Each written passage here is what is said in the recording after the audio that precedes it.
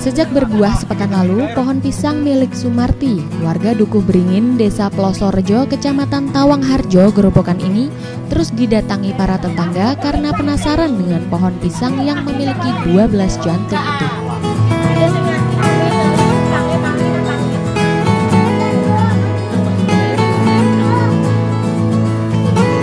Menurut Sumarti, tunas pisang jenis Ambon hijau itu diambilnya dari sawah setahun lalu. Sejak ditanam, pisang sudah berbuah dua kali. Yang pertama, pisang berbuah normal.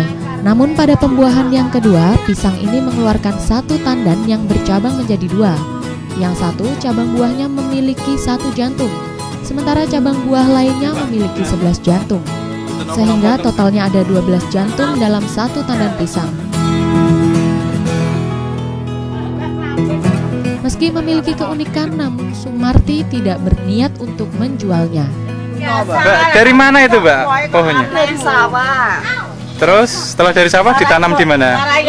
Di situ Oh, selang berapa tahun berbuah? satu tahun.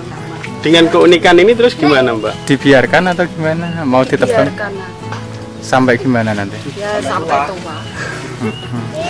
Gak ada rencana dijual atau gimana?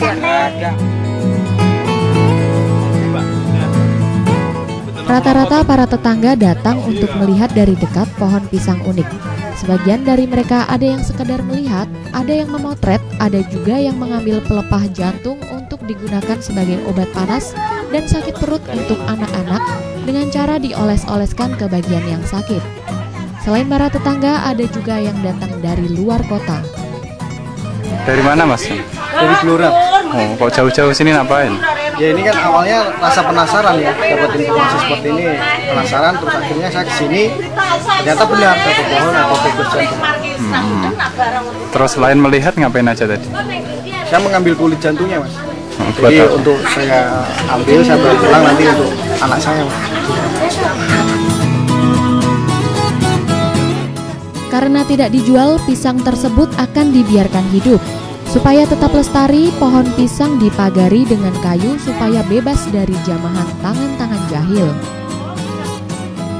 Dari Gerobokan, Santos Prakoso melaporkan.